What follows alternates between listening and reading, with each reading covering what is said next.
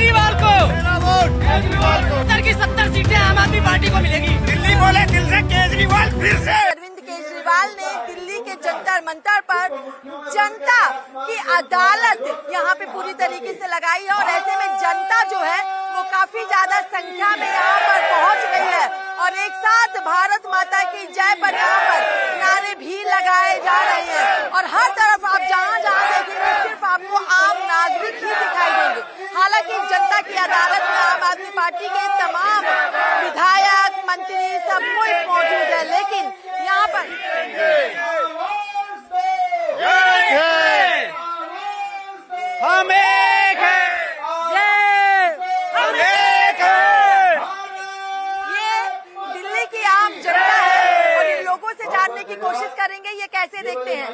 क्या कहेंगे आप? जनता की अदालत को लेकर अरविंद केजरीवाल को लेकर जनता की अदालत में आज हम सभी लोग यहाँ पर आए हुए हैं और केजरीवाल ने जिस तरीके से आगे आके घोषणा की कि अगर हमने ईमानदारी से काम किया है आपके लिए तो आप हमें अगले तीन चार महीने में होने वाले इलेक्शन में जिताओगे तो मैं दोबारा सीएम की कुर्सी पर बैठूँगा। अगर आपको लगता है कि मैंने भ्रष्टाचार किया है तो हमें वोट मत देना और हमें कुर्सी से हटा देना। ये आप तक बड़ी बात है। आप मेरा नहीं आप देखो यहाँ पर कितनी ज़्यादा संख्या में पब्लिक आई है और ये इस बात की मोहर लगा रही है कि हमारा अरविंद केजरीवाल ईमानदार है। आज तक के इतिहास में बिल्कुल आज तक के इतिहास में ऐसी कोई भी पार्टी नहीं हुई और ऐसा कोई नेता नहीं हुआ जिसने काम पर वोट मांगा हो। पहले हमने काम पर वोट मांगा, जनता ने हमें बम्पर सीटें दी। और इस बार हमारी ईमानदारी, हम अपनी ईमानदारी, केजरीवाल जी अपनी ईमानदारी पर वोट मांग रहे हैं। और इस बार गारंटी से सत्तर की सत्तर सीटें आम आदमी पार्टी जीतेगी और इतना मतलब इतिहास हमेशा आम आदमी पार्टी ने देश में ऐसा कोई और दूसरा नेता नहीं है जो ये कह दे कि मेरे काम पे वोट देना। आजकल तो धर्म पे नाम पे किसके नाम पे किसके नाम पे वोट होता है। लेकिन अरविंद जी एक इकलौते ऐसे नेता है वो काम के नाम पे वोट मांगते हैं। और वो पूरी तरह से ईमानदार है। केजरीवाल को! मेरा वोट! केजरीवाल को! मेरा वोट! केजरीवाल को! केजरीवाल! केजरीवाल! क्या कहेंगे जनता की अदालत? जनता की अदालत को ये कहेंगे जनता का फैसला आपके सामने जनता जिस तरीके से यहाँ पहुँची है ये तो अभी आज चुनाव करा लो। आज चुनाव करा लो आज तैयार है। अगर दम है बीजेपी में तो आप तीन नवंबर में चुनाव करा के दिखाओ सत्तर की सत्तर सीटें आम आदमी पार्टी को मिलेगी। बिल्कुल सरकार है दोबारा पूर्ण बहुमत की सरकार हमें किसी का समर्थन नहीं चाहिए। पूर्ण बहुमत की सरकार केजरीवाल की पब्लिक आई है पैसे से आई है। फ्री में फ्री में। जाके पूछ सकते हैं आप पूछ सकते हैं आप। आप तो बिल्कुल फ्री हो फ्री हैंड हो पूछ सकते केजरीवाल के लिए पैसे से आई है फ्री में फ्री में फ्री में। कोई पैसा नहीं लिया। ये काम के दम पे आए काम के दम पे। जो काम किया काम किए हैं आज के लिए जो केजरीवाल ने काम किया जनता के लिए ये उस जनता की वो जनता आई हुई उसके नाम पर ये पब्लिक आई हुई है यहाँ।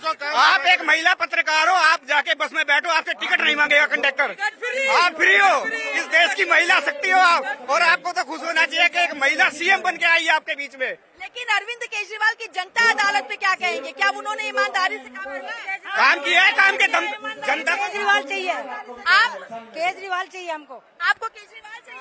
केजरीवाल केजरीवाल। केजरीवाल तो क्यों? हमारे लिए सारी सुविधाएँ की लेडीजों के लिए बहुत ज़्यादा किया। केजरीवाल जो हमारा ईमानदार है बिल्कुल। वो ईमानदार है वो हमारे हक के लिए गरीबों के लिए खड़े रहते हैं। जो हम महरौली विधानसभा में भाई नरेश यादव की टीम के सारे सदस्य हैं। महरौली विधानसभा की जो पूरी टीम है वो पूरा का पूरा महरौली विधानसभा केजरीवाल को समर्थन करते हैं और केजरीवाल हमारे दिल में बैठा हुआ है। आपके दिल में? ये हमारे दिल में है केजरीवाल। किसके किसके दिल में केजरीवाल? सबके दिल में। दिल्ली में दिल से। दिल्ली बोले दिल से केजरीवाल फिर से।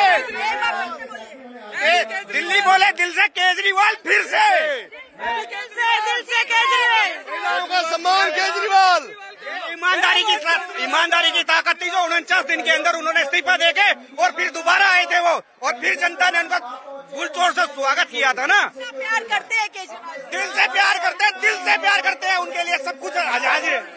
हाँ क्यों करते क्यों करते? काम के दम पे वोट मांगने वाला एक पहला नेता है वो जातिवाद पे वोट नहीं माँगता वो काम के वोट पे बांधता काम के दम पे हमें आम आदमी पार्टी की केजरीवाल की नीतियों का फ़ायदा मिला पहली बार कोई ऐसा नेता आया है जिसने फ़ायदा डायरेक्ट पब्लिक को दिया ना कि अपनी जेब भरी जिंदाबाद